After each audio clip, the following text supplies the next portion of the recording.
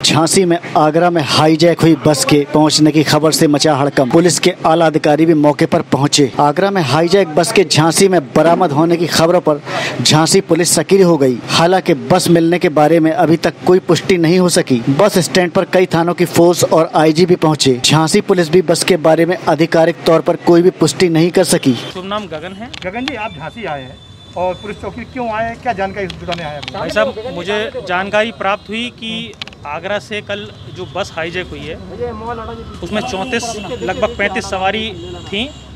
Driver और conductor और cleaner को बस से उतार दिया गया और बस को फाइनेंस कंपनी का कर्मचारी ले गया। ये कहते हुए कि बस का जो फाइनेंस अमाउंट है वो चुकता नहीं किया गया।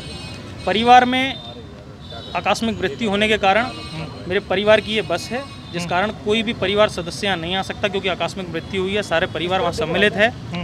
और इसी कारण मैं चूँकि लोकल में होता हुआ इस चीज़ की जानकारी लेने आया हूँ कुछ तमाम न्यूज़ चैनलों से मुझे ये पता लगा कि बस झांसी के पास कहीं प्राप्त हो गई है पुलिस तफ्तीश में लगी थी और पुलिस बस स्टैंड पहुँची है और यहाँ पे जाँच की जा रही है और बस यहाँ पे पहुँचने वाली है। अच्छा बस फाइनेंस ठीक नहीं थी ये बताओ क्या बताओ साहब बस जो कि मुझे जानकारी प्राप्त है बस फाइनेंस नहीं थी वो किसी ने साजिश के तहत उसको उठवा लिया है।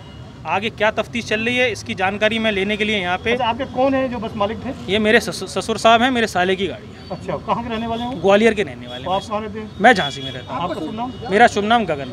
गगन जी और कुछ जानकारी मिली आपको इसके अलावा?